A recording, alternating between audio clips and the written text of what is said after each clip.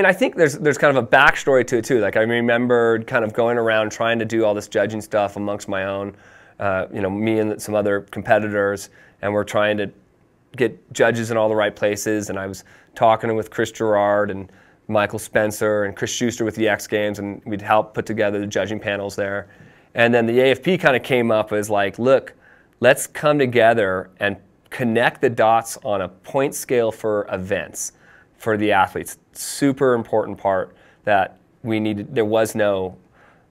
you know, number one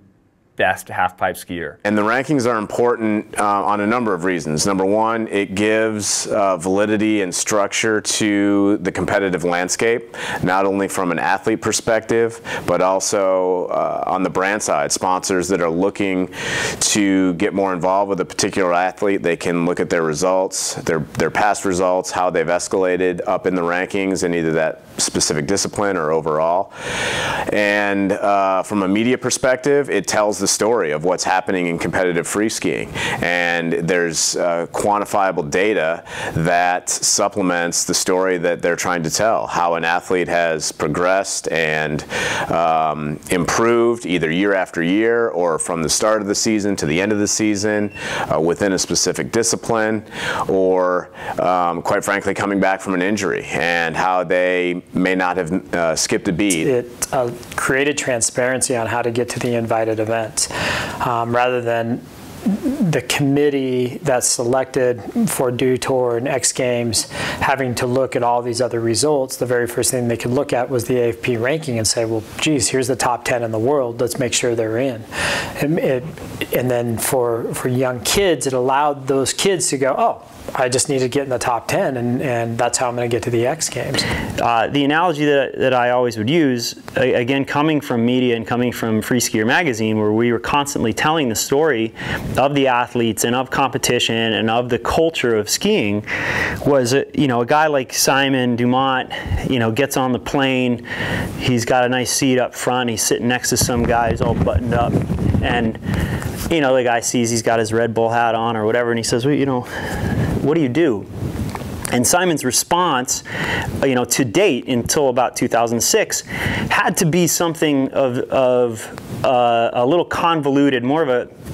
a long-winded answer about well I'm a skier and I compete in the X Games. Have you heard of the X Games? Well I have some gold medals at the X Games. You know there's there's no there was no consistent way to just get the story across. So being able to say I'm the I'm the number one half pipe skier in the world, um, you know, or I'm the number two or three or whatever,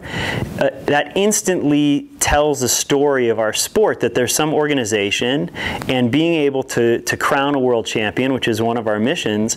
is to is to create that story and it also creates a goal for, for skiers who are coming into the sport where it's not just about going to the X Games, it's, it's, there's a path, there's a road to, to be number one, to be a champion. So the athlete ranking system began as a fairly simple mathematic process of assigning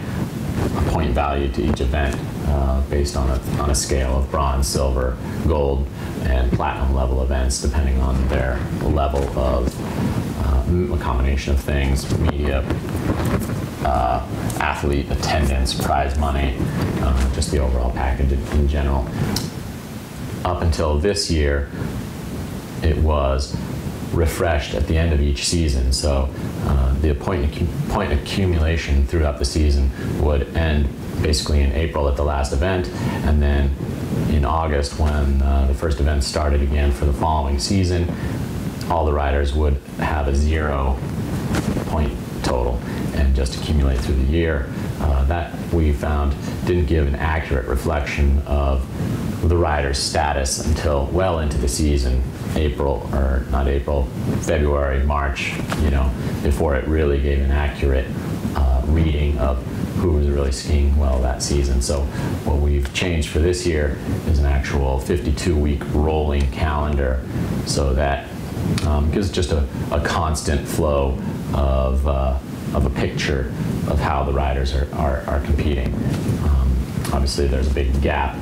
in, in events through the summertime, but a rider's status will remain the same throughout the summer and then at the beginning of the season, we'll have a much more accurate picture of where everybody's sitting from the very start of the season on.